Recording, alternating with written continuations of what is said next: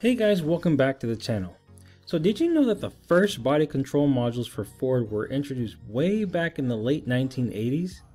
Well back then things were a lot more simpler and pretty much plug and play, but today things have gotten a lot more complex. And this is exactly what one of my clients found out as he replaced a BCM using his IM608. He ran into this issue because the information that he saw online wasn't working when he would apply it on his tool. So in this video, I'm going to show you a step-by-step -step process on how to properly uh, approach and program and configure this BCM module. All right. This presentation is titled How to Program a Used BCM on a 2014 Ford Fiesta with the Autel J2534. All right. If you're new to the channel, welcome. My name is Curtis Harden. I'm an independent Autel diagnostic consultant. I align people with the right diagnostic tool strategy and give them the one-on-one support and training that you see in this presentation. So if you want to purchase your tool or if you want extra training that you're not able to get from your current supplier, head on over to auteltech.co.za. Now, this is what you're going to learn by the end of this presentation. You're going to see what tools are used to do this procedure. You're going to learn the location and removal procedure of the body control module. And then you're going to discover the OEM programming and coding strategy. And you're going to learn how to identify and resolve post-programming issues. And lastly, how to program a used body control module on a 2014 Ford Fiesta. Okay, so in this uh, case study, the tools that we used were the J2534, your two keys, and your used body control module. All right, now background of this case study. So this client was working on a 2014 Ford Escape with a completely non-communicating faulty BCM. In effort to resolve the issue, he purchased a used BCM and attempted to configure it with his IM608 tool, following advice he found on YouTube. All right. Although the vehicle started, it triggered multiple warning lights, including along uh, various error codes. Now, Despite his efforts, he encountered several coding parameter faults, most of which were pointing back to the BCM, and he wasn't sure how to properly address these issues, and that's why he needed guidance on the correct procedure to get the vehicle running smoothly. So that's when he booked a consultation with me to receive the advice he needed to resolve the programming errors and complete the BCM uh, procedure successfully. All right. So let's find out where this BCM is located. If you look here, it's right under the passenger glove box. Okay. And to remove it, the first thing we want to do is remove the instrument panel insulator. Okay. Second, we want to remove the side trim panel. Okay. Third, we want to open the glove box. Okay. And then we want to remove the glove box. Okay. And then we can disconnect the BCM and then remove it. Okay.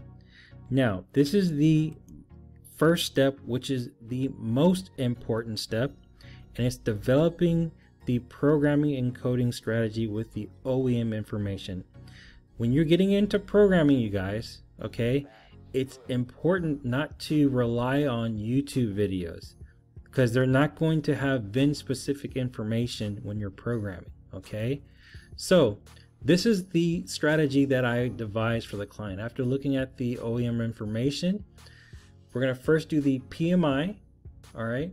Then we're going to do the as-built data, all right? We're going to re retrieve it online. The car configuration parameter, okay? And there's the function route. Then we're going to do the configure engine immobilizer, okay? There's the function route. We're going to perform the parameter reset, and you're going to need two keys to do this, okay? Because when we're the next procedure, it's going to erase it. It's going to ask for those two keys okay? And then we're going to do the TPMS uh, procedure. And then lastly, we're going to read and erase any error codes, okay? So that's the, the strategy for this particular event. There will be some variations with uh, other uh, vehicles that you're working on, so just make sure you look at the OEM information. Now, step number two, we're going to identify the VIN number using the FJDF uh, S software. Okay, so let me just fast forward this a little bit. All right. my client works on a lot of European vehicles, so he's not really um, uh, he's not really quick at this software as of yet. But Ford is a very uh, user-friendly uh, interface. It's it's a really good one to get your feet wet in terms of programming, in my opinion. Okay, so we got communication with the uh, PCM, and now we're going to use a software to identify the VIN number.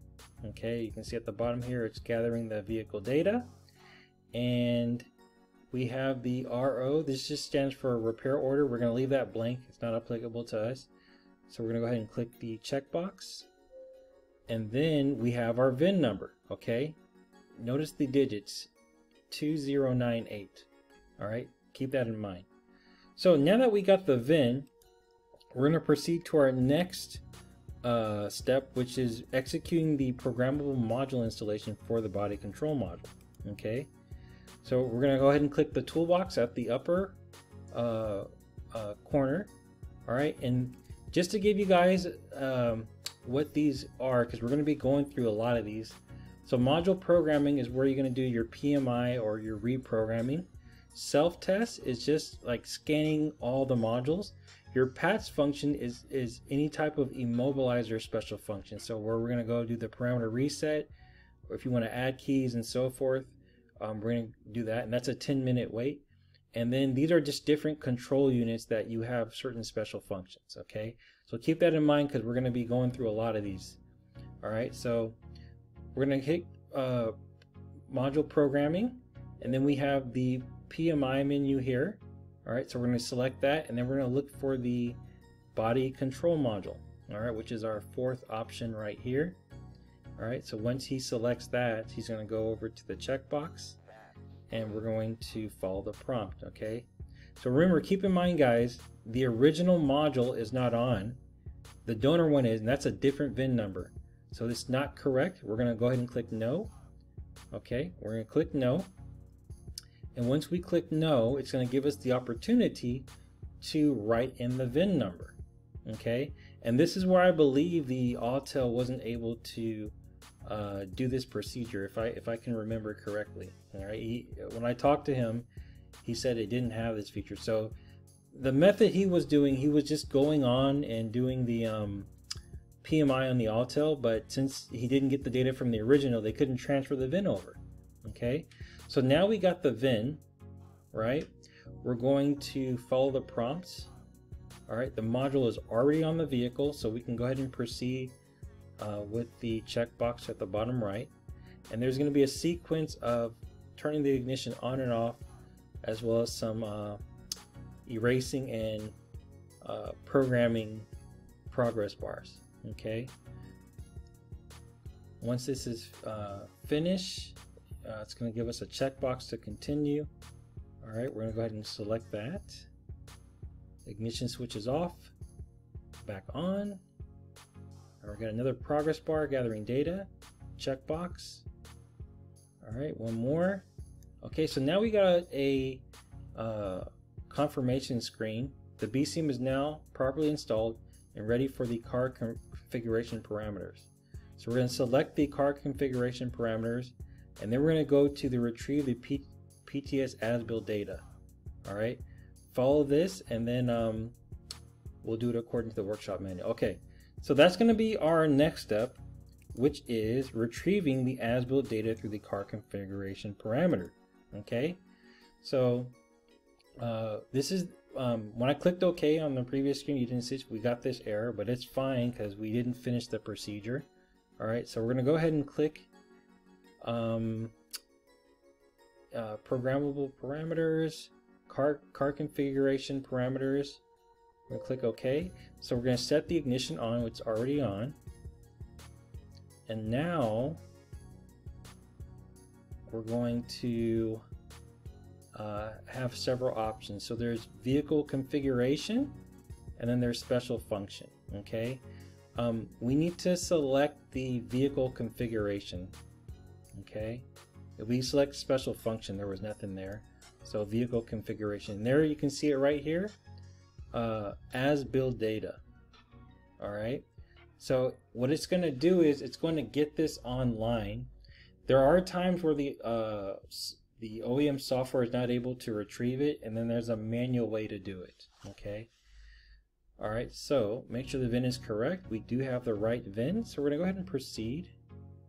All right, and then, um, yep, all right, that's the VIN, 098. Okay, so now it's gonna connect to their servers. All right, our ignition switch is on. We have proper voltage. You wanna make sure you have a battery maintainer. Ignition off, back on, and then we're downloading. Okay, everything's going good. We have a good used BCM, looks healthy.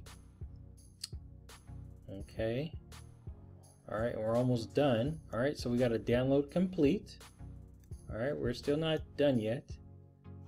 Okay. Ignition off. All right, and then we finish that procedure. All right, so we still have this lagging, this uh, uh, VIN incorrect, but we, we're not finished, okay? Because we still have to do the next step, which is configuring the CEI lock via body service function, all right? So that's what we're gonna do now, all right? I'm going to click the checkbox, the bottom right, and then uh, we're gonna go click the toolbox, the red toolbox, and then we're gonna go into body, service function, CEI lock configuration. Okay. All right, ignition is on. Function complete. Turn the ignition to the off position. Okay. So our next step is to perform the parameter reset using the PATS function. All right. So let me start this. All right. Going back to the main screen. All right, we're gonna go back to the PATS function. All right. Performing an additional key function, you'll gain security access an additional key. All right. And this is going to be a 10 minute wait. All right. So this is not a push to start. All right. We're dealing with a basic key. All right. This is going to take 10 minutes. All right. Fast forward it. Now we have the security access granted. All right. And then here we're going to select the parameter reset. Okay. So let's go ahead and um, I have the tech select that. Alright. Then to click the checkbox. You're about to perform the parameter reset. Let's click yes. Alright, and then we have the operation has been successful.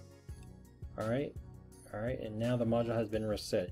So then we have to do the ignition, uh, executing ignition key code erase procedure. All right, so let's go back here and locate the ignition key code erase. All right, so we're gonna go right there. All right, number of keys required two. This operation has been successful. All known keys has been erased. So it erased all the previous keys and now it's going to immediately uh, ask us to register two keys, okay? And the client only had one at the time, so he had to go back and later uh, get the second key to do this procedure. So you must have the two keys, okay? And you're just gonna follow the instructions. Insert the key into the lock cylinder, turn the key on, and wait six seconds. And once you do that, we're gonna click the checkbox, and you're gonna see the number of keys, uh, the status is gonna have um, the number one once that's been registered, okay? So now he's doing the same procedure uh, with the second key and once he's followed that six second time limit he's going to click the checkbox and then we're going to have the status of two. All right? All keys are programmed. All right? We're going to turn the ignition off. Okay? So now the car's starting all right? And everything is fine. He told me he had um one more light. I think he had a TPMS light on. So I just wanted to erase um, any codes uh, that you know may have populated while we were programming. Okay, so I'm going to go back and uh, go to self-test. Remember, self-test will scan all the modules in the vehicle. All right, and then once we click that, we're going to get a full vehicle health check on this BCM, okay? So don't panic, we're gonna erase these and whatever comes back up is what we need to be concerned about, okay? So, so far so good. Um, as I said, the car starts fine, it runs fine. Um, now this code came up and it wouldn't it wouldn't clear. So I took the time to just quickly research it for the client. And what I found was um, the B12BD-55 um, is basically saying that the rear camera is not configured. Okay, which you can see here, right? So all we need to do is follow the function route, service function, lin new module initialization, and that should rectify that issue. Okay. Um, and then the last step would be the uh, TPMS calibration procedure. Okay. And he did this, um, you know, uh, with a different tool. And but this is the strategy. Okay. Um, you want to use the sensor activation, identification, system verification, and then um, yeah, these are just some tips and stuff. But that's pretty much it, guys. We ran through this from A to Z, and we have a fully programmed and configured BCM. All right, professionally. All right. So, key things to remember: if the original BCM is still operational, make sure you start the PMI with it in the vehicle. All right, as it inhales the data and transfer it over to the second one. You you always want to do this when you're working with Fords. See if you can still have the original module. Okay. Um, next, if the original BCM isn't communicating, you'll use the Ford FJDS software.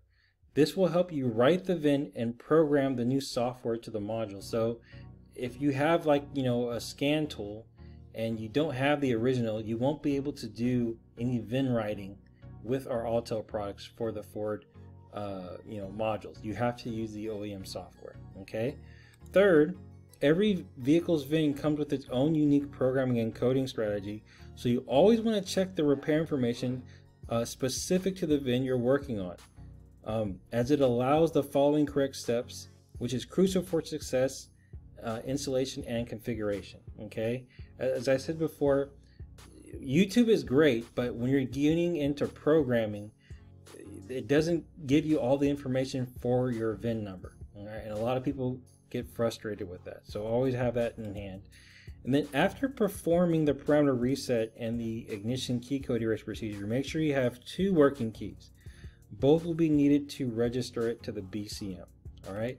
And lastly, in module programming, the greatest waste is time not getting started. The sooner you get the software installed on your computer, the more opportunities you'll have to attract more programming uh, events to your workshop. I don't know how many countless number of times where when I am introduced with a client and we just get the software in his computer, we start to, you know, attract people who, who have those events. Okay. So I always say it's better to uh, be ready than to get ready. So if you guys want to start programming professionally, head on over to auteltech.co.za, book the J2534 training, and I'll give you uh, initial Ford installation and walkthrough as well as uh, repair information. And I do have some long-term uh, programs if you guys are really want to elevate your programming uh, skill set. Okay. So with that, guys, I hope you enjoyed it. Enjoy your Friday, and I'll see you in the next one. Take care.